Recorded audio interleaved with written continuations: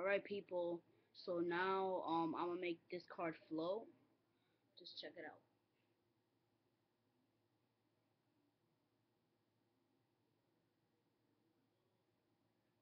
It's pretty cool.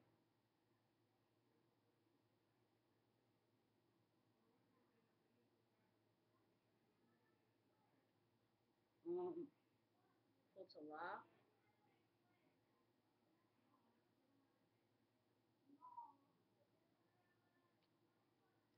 Um this card is pretty it's pretty cool to flow and I hope you guys enjoyed it.